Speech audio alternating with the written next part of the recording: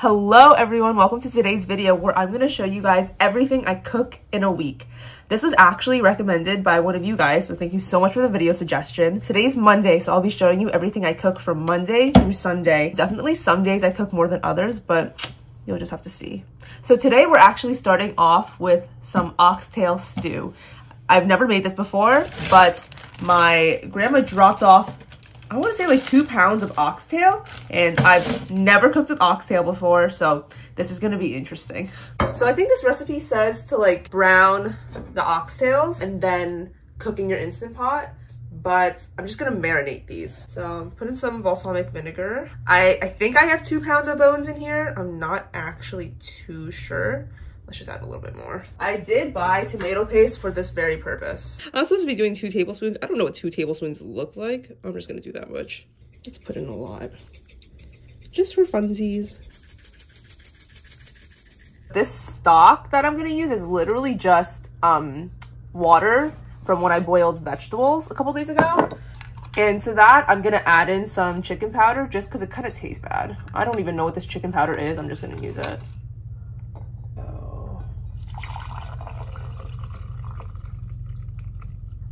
Do a little more than a cup just in case. Ooh, stinky. The trick is to keep this end on so everything stays together as you're chopping. Nice.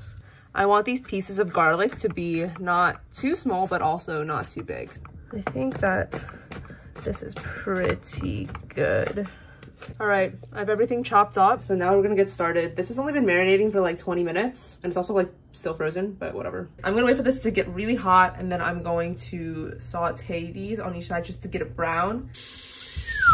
That is some sexy looking stuff. Wow. I'm heavily deviating from the recipe, but I just poured in some stock and I'm just picking up those burnt bits. Uh, mine were definitely burnt. They're not supposed to be burnt, I'm pretty sure, from all the cooking videos I've watched but mine are burnt. And hopefully that doesn't severely alter the taste of the stew. And then I'm gonna add in the rest of this stock. This recipe said for four pounds of oxtails, you need a cup of stock. And I only had like two, two and a half pounds. And I put in about two cups of stock because I said I should cover it slightly, which it's not even. I'm also gonna add in some cinnamon because I think cinnamon tastes really good in savory things. Some paprika, just for funsies. I also added in about a, like a heaping teaspoon of salt. And if I need to adjust that later, I will. Let's add the carrots and potatoes in slowly or quickly. Here are the potatoes and carrots sitting on top of the liquid, just like the instructions say, at high pressure for 40 minutes. I think that's it. See you in an hour because I have to let this natural release for 20 minutes. It's been resting for 20 minutes, so let's vent it. I'm scared. What if it's ugly? The recipe said to take out the oxtail and half of the carrots and have the potatoes like thicken the, the stew. I don't really know. I'm gonna play around. It smells kind of funky, I'm not gonna lie. Like, I don't love the smell, but let's give it a taste. That was really hot. I'm like, my eyes are watering. Um, that is so good.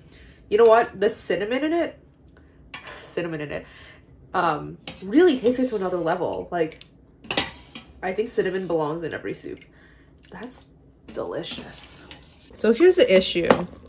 I don't have like an immersion blender or anything.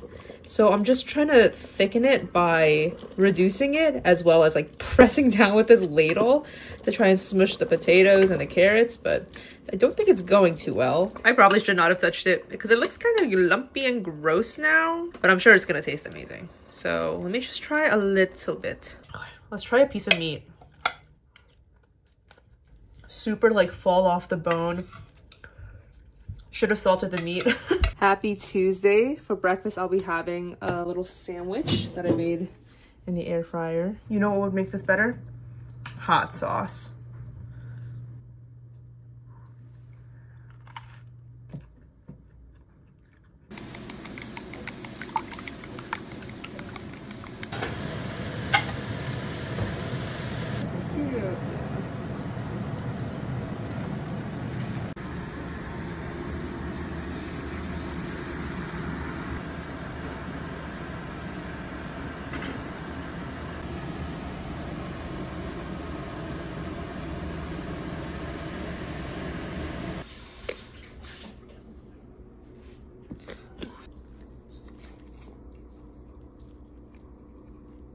Today we're also cooking some salmon that I marinated like literally a week ago and I'm worried that it's not good anymore. It's just been sitting in my fridge in a Korean barbecue sauce marinade. I'm still going through the oxtail stew leftovers, but this thing, it needs to be cooked or else it's gonna go bad in my fridge. We're gonna cook it and keep it for leftovers. Maybe we'll do a little Emily Mariko salmon rice bowl, but this needs to be cooked.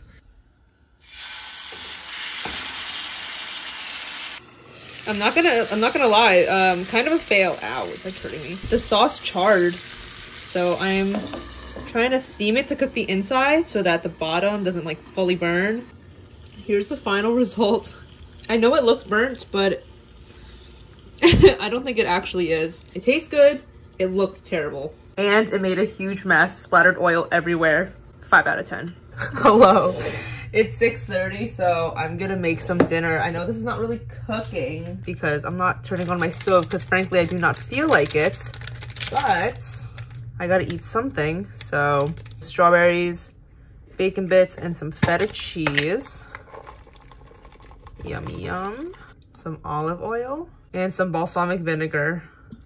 And that's the fastest dinner ever. Are we surprised that the salad was not enough? So I actually want to eat a little bit more, but I'm not that hungry, just a little bit hungry. So I want some buttered noodles, but I'm gonna make them the college dorm way, aka in the microwave. it's kind of revolting that I did this and still do this because I'm too lazy to boil water. Place into the microwave. Whoop, there it goes, overflowing again. Next, we take some butter. I'm gonna do that much. That's actually kind of a lot. Whoops, okay.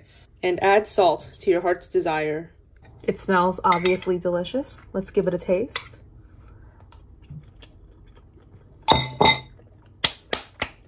Hits the spot every time, literally. Why don't I eat this every day?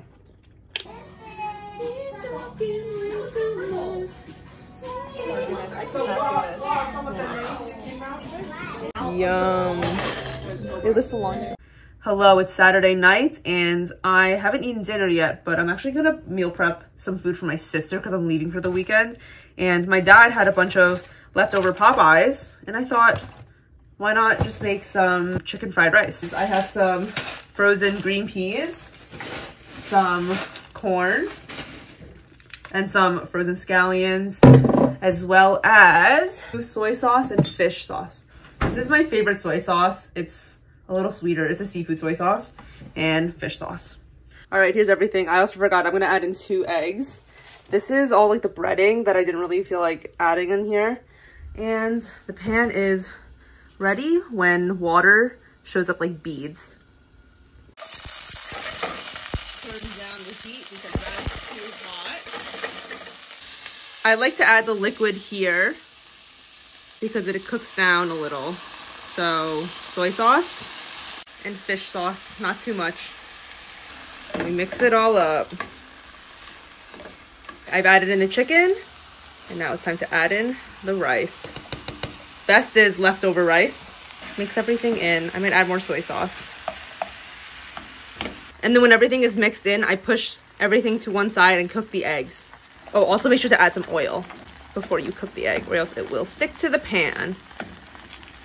Just cook it up like this. Just scramble them like just like this. And now let's just combine everything.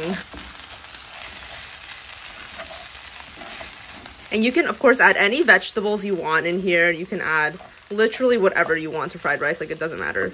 It's, to me, like a kitchen sink fried rice.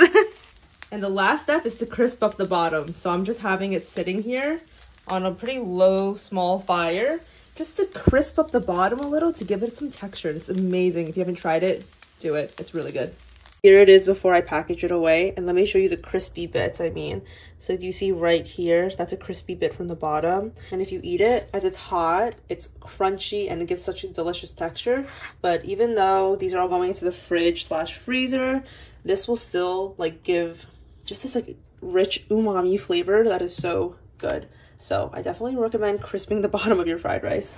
Anyways, I have two pints, whatever half a pint is, and whatever size this is. And it's gonna go in the fridge slash freezer. And on that note, that actually wraps up this video. Tomorrow's Sunday and I don't cook on Sundays because my church provides food for me and I'm going to home to my parents and my parents are going to cook for me tomorrow. So thank you so much for watching till the end. And if you want more content, more of me cooking, more of my daily life, I'm vlogging every single day for a year. So feel free to check that out and I will see you in next video.